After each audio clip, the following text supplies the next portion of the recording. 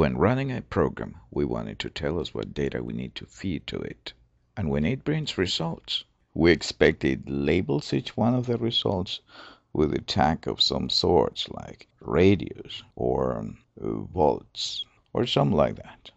In the HP 49G Plus and HP 50G, there are two commands for doing this prompt and make me a tag.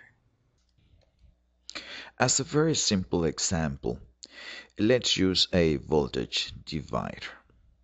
Two resistors like this one in series between the reference node and a certain one to which we apply a total voltage Vt and the values are R1 ohms and R2 ohms.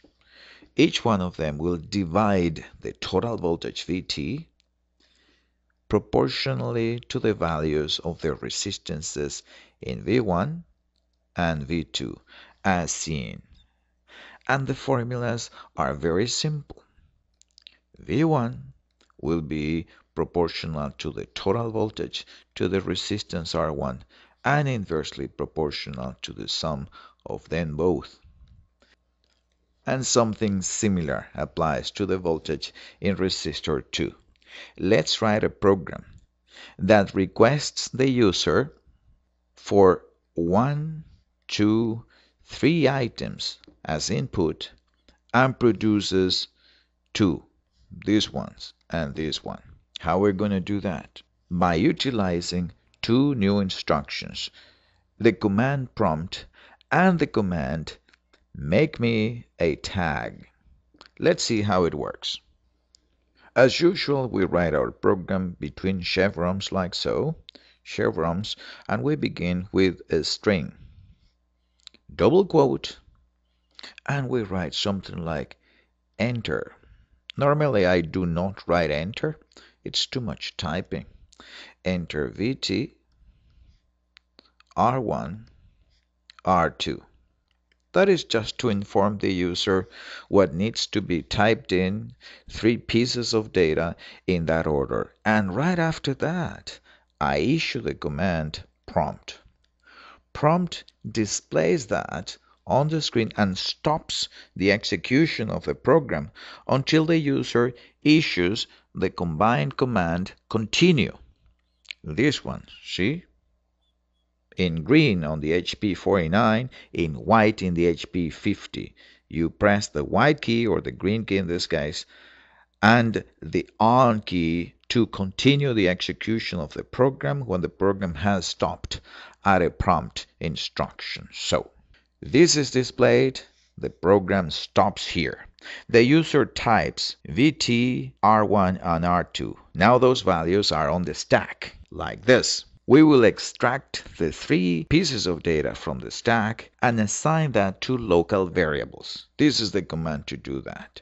That means extract from the stack enough values, a variable called VT, a variable called R1, and a variable called R2 we are creating three local variables that will disappear once the execution of the program ends. Those local variables will be in use within an inner set of chevrons like that. In there, I write an expression like this Vt multiplied by R1 divided by the sum of R1 plus R2 close apostrophe evaluate and that is V1. Instead of just leaving that value on the stack with no further identification I will do something else. I will type a little string that I'm going to call V1 and I instruct the calculator to make a tag out of that together with the value on the top.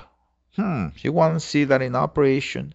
Well, let's do that for a moment before programming. In the calculator, let's say you have a value like 7.8 on the stack and you want to tag it with a label with, with apostrophe, alpha, alpha, I write any label. Enter.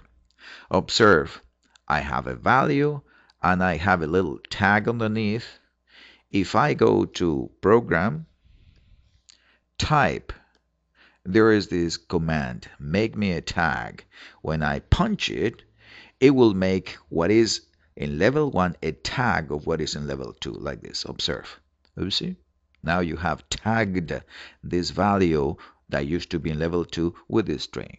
This is what I'm doing, tagging this numerical value with V1. The same way we compute Vt R2 divided R1 plus R2. I evaluate that, I have a numerical value, and now I tag that with V2.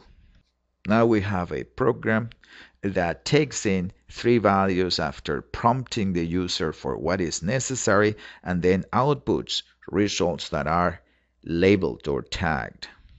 There are two levels of chevrons, the external one and the internal ones, where the local variables vt, r1, and r2 exist.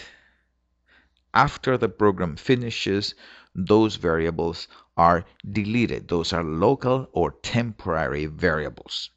Let's code that.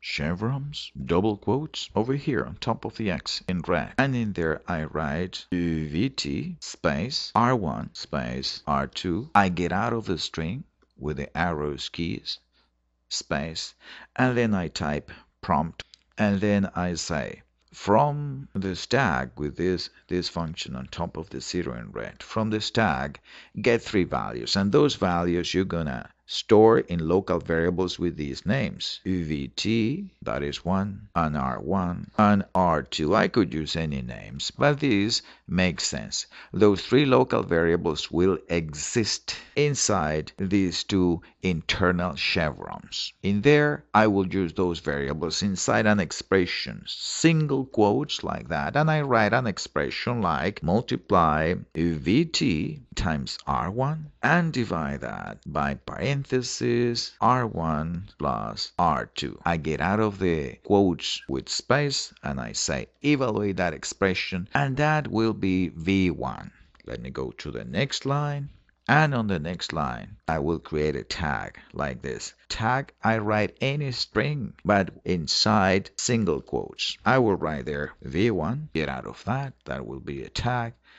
And now we make a tag out of that with programs, type make me a tag. And we do exactly the same for the other voltage like this one and we do exactly the same for V2. We compute it like here with this expression, evaluate the expression, and then we attach the tag V2 to that value.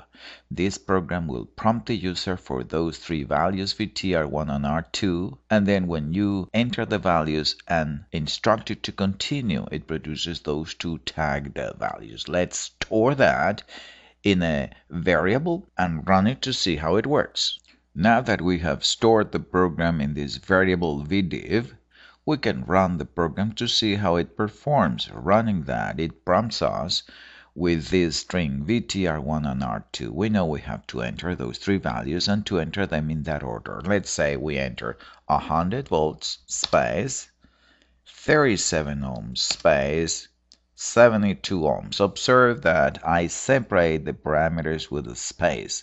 I could separate them with enters, but if I do that, the prompt disappears from the screen. No big deal, but in a long prompt, I prefer to keep the prompt there so that I know what I'm typing. So that's why I use spaces instead of enters when I'm entering data for a program with a prompt. And then we go to green continue or white continue in the HP 50.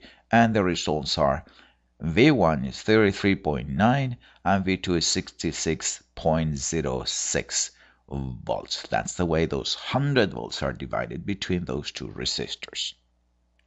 Thank you very much.